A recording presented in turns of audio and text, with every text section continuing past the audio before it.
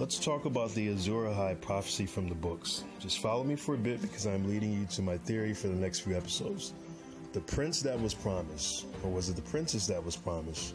The prophecy states there was a warrior that saved the world a long time ago, that he will be reincarnated to save the world again. The books state that Azor Ahai was born under the bleeding star from smoke and salt. Sounds familiar?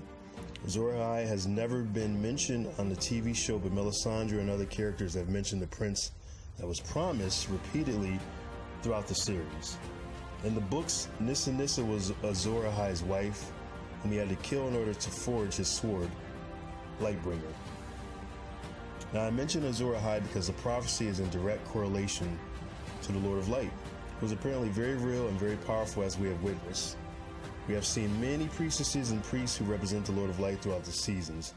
Thoros of Myr, although a degenerate drunk, resurrected Beric Dondarrion from the dead multiple times. Beric Dondarrion is able to light his sword on fire similar to Azor Ahai, thanks to the power of the Lord of Light. Now, the Red Priestess Melisandre had a scene with Lord Varys, if you can remember. I want to say it was during season 7 at Dragonstone. Uh, the Red Priestess told Varys she would be leaving and going to Volantis. Varys, very sarcastically as he does, tells her it's a good decision to go and never to come back. Melisandre promptly snaps back by telling Varys in a very cryptic way she will return to Westeros one last time and they both will die at some point upon her return. During the Great War. I'm sure Varys did not know how to receive that information that he will indeed die during the Great War for the Long Night. Now, just to give some perspective, Volantis is part of the land far east of Westeros, you know, where Braavos and all those other places are. Volantis is at almost the most southern point marked with the yellow flag that you see there. The Temple of the Lord of Light is in Volantis, where Melisandre is headed, and she is headed there, in my opinion, with a huge purpose, and also looking to absolve herself of some of her fatal mistakes she has made throughout the seasons. Uh, but let's go back a little bit further.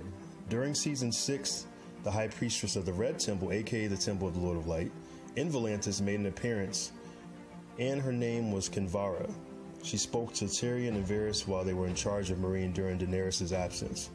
Varys once again stated, or once again in his sarcastic fashion, began to question the Lord of Light's ability. Kinvara then gives him detailed information from his past no one else could have possibly known about his castration. The look on his face is pure horror more power on display by the Lord of Light. Now, in the books, the fiery hands are literally the soldiers of the Lord of Light. The White Walkers and Whites can only be killed by Valyrian Steel, Dragon Glass, and you guessed it, we all know, fire. Imagine Beric Dondarrion times a hundred, if not more, and possibly more powerful. I believe Melisandre will return to Westeros with an army of fiery hands, courtesy of the Lord of Light. I believe this will happen in episode three or the next couple of episodes.